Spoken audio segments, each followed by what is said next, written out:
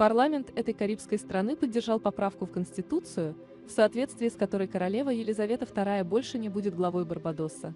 Премьер-министр Барбадоса Мия Мотли заявила, что переговоры о переходе к республиканской форме правления начались более 20 лет назад и назвала решение парламента хорошо обдуманным шагом. 30 ноября 2021 года Барбадос отметит 55-летнюю годовщину со дня своей независимости от Британии и в этот день сменит форму правления с монархии на республику, пишет BBC. Поправка к Конституции подразумевает только смену статуса государства и отказ от подчинения королеве Елизавете II, но в остальном основной закон не изменится.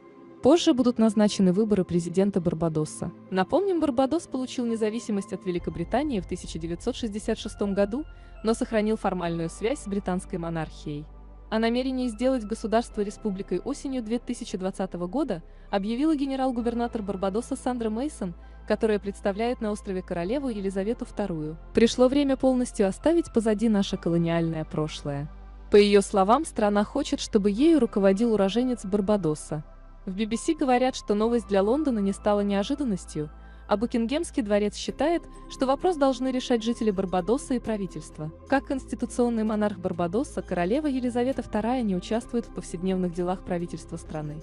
Тем не менее, она поддерживает регулярные контакты с генерал-губернатором, ее представителем в этой стране, который держит ее в курсе любых важных новостей или событий.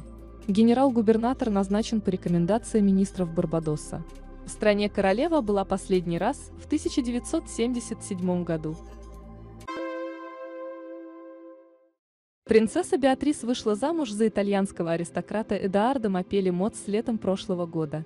А уже этой осенью супруги стали родителями. 18 сентября Беатрис родила дочку. Имя девочки стало известно после заявления Букингемского дворца, опубликованного в официальном инстаграм-аккаунте. Ее королевское высочество принцесса Беатрис и Эдуардо Мапели Моц назвали свою дочь Сиена Элизабет Мапели Моц – Такая подпись сопровождала фотографию отпечатков детских ступней. Беатрис и Эдуарда решили почтить бабушку принцессы, Елизавету II, в честь которой их дочь получила свое второе имя. Первое имя малышки Сиена также выбрано не случайно, оно имеет итальянское происхождение, тем самым супруги отдали дань уважения семейным корням Эдуарда. Ранее принц Гарри и Меган Маркл также сделали реверанс в сторону Ее Величества, когда назвали младшую дочь Лилибет – Именно так обращались к королеве в кругу семьи. Пользователи сети положительно оценили решение Беатрис и ее супруга. В частности, многие одобрили выбор в пользу официального имени королевы, а не домашнего прозвища. Напомним, что Сиена далеко не первый ребенок в королевской семье, названный в честь ее величества. Принц Уильям и Кейт Миддлтон назвали свою дочь Шарлотта Элизабет. Также обе дочери Зара Тиндал, старшей внучки королевы, носят аналогичное второе имя. Борьба Меган и Кейт – это то, за чем можно наблюдать вечность. Ну как борьба? Меган что-то себе придумала и борется с этим. А Кейт живет себе спокойно и не в курсе вообще, что с ней соперничают. Так случилось и в этот раз. Сначала общество следило за перемещением сасекских по Нью-Йорку, а затем наблюдало за тем, как Кейт Миддлтон с гордо поднятой головой шагает по красной дорожке.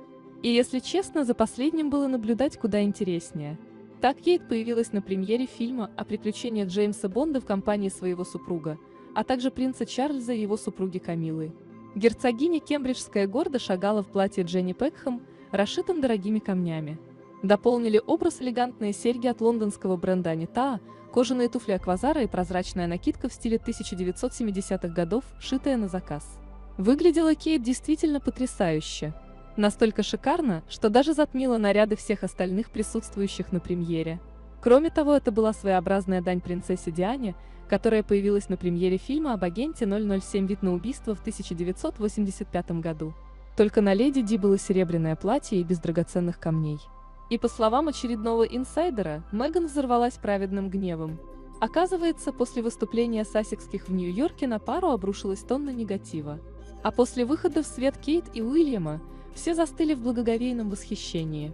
Меган была неприятно удивлена тому, что выход в свет герцогов кембриджских оценили выше, чем выступление Меган и Гарри в Нью-Йорке. Ведь герцоги Сассекские боролись за правое дело, в то время как герцоги кембриджские всего лишь посетили премьеру фильма, отметил информатор. От себя могу добавить, что общество незаслуженно набросилось на Гарри и Меган. Ведь проблема с вакцинацией намного больше, чем выход нового фильма, подчеркнула говорящая голова. Хотя все мы, пожалуй, и так знаем ответ на вопрос. Просто Кейт и Уильям вышли в свет на премьеру фильма. Вот так просто посетили мероприятие. И выглядели потрясающе. Уильям не спускал взгляда со своей супруги. И это было заметно. Что сделали сасекские? Призывали крупные компании раскрыть свои формулы, чтобы бедные страны смогли сами приготовить вакцину. И это бы заполонило полки аптек и медицинских центров. Правда, качество этих препаратов было бы на таком низком уровне, что истребило бы больше людей, чем любая война. Есть еще вопросы, почему такое разное отношение к парам. Не удивлюсь, что этим самым инсайдером был Скобидушечка. Он же, как и Меган, вечный борец за права всех бедных и обездоленных. А чей образ вам больше понравился? На днях в сети всплыли подробности скандала, который произошел между королевой Елизаветой и принцем Гарри накануне его свадьбы в 2018 году. В выборе платья невесты будущая герцогиня Сасекская отдала предпочтение классике, сочетав наряд в пол и роскошную тиару. Вот только украшения, которые королевской невесте выдают из сокровищницы, Маркл хотела больше и богаче, чем было в 2011 году у Кейт Миддлтон. По слухам, бывшая актриса мечтала выйти замуж в тиаре самой королевы Елизаветы. Из-за этого принцу Гарри пришлось поссориться с августейшей бабушкой, пишет Эндрю Мортон, автор книги «Меган. Принцесса Голливуда». В ноябре 2018 года, всего через несколько дней после того, Меган устроила истерику диадемы, потому что тиару, которую она хотела, она не могла получить, пишет королевский эксперт. Но Елизавета II была непреклонна и заявляла внуку, что его избранница получит ту диадему, которую лично королева решит одолжить ей. Упрямство королевы не понравилось принцу Гарри. В результате он поссорился с королевой и обратился к хранительнице драгоценностей Ее Величества. По воспоминаниям последней, Гарри был в гневе и твердил только одно, что Меган хочет, Меган получит. Однако добиться своего жениху и невесте не удалось. В итоге Меган досталась тиара Бандо, созданная почти 90 лет ювелирами дома Гэррот.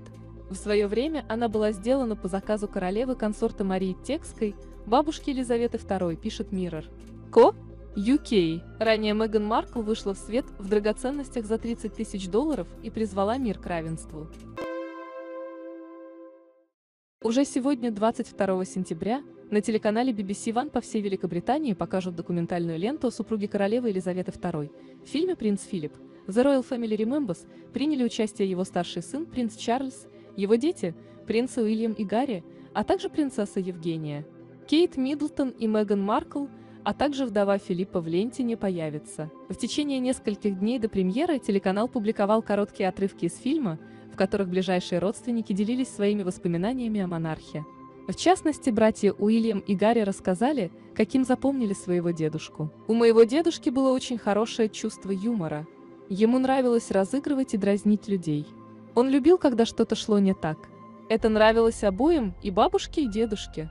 Потому что они жили той жизнью, где все должно быть всегда правильно. Поэтому, когда что-то шло не так, они оба начинали смеяться. Все остальные в этот момент ужасно смущались, а им нравилось, сказал принц Уильям. Просто все хотят сделать все идеально и думают, королева и герцог Эдинбургский приедут, давайте убедимся, что мы все делаем абсолютно правильно. У нас все получается правильно каждый год – Давайте продолжать в том же духе. А эти двое думают, интересно, пойдет ли в этом году что-то не так, было бы здорово. Поделился Гарри. Кстати, этот фильм начали готовить еще при жизни принца Филиппа, и планировалось выпустить его к столетнему юбилею герцога. Однако в апреле его не стало, и телевизионщики решили поставить производство на паузу. В итоге ленту слегка перемонтировали и решили представить только спустя полгода после его кончины. Сто лет принц мог бы отметить 10 июня. К этому дню мы вспоминали лучшие семейные фото с Филиппом. Прочитать его биографию и посмотреть фотогалерею можно по этой ссылке. Напомним, что принц Филипп ушел из жизни 9 апреля этого года, а спустя неделю состоялась церемония прощания с монархом, на которой присутствовали всего лишь 30 человек, в числе которых были Кейт Миддлтон, принцы Гарри и Уильям, а также принц Эндрю, принц Эдвард и принц Чарльз с герцогиней Камилой. Спустя почти месяц после смерти принца Филиппа, Королевский медицинский дом представил публике отчет сэра Хью Томаса.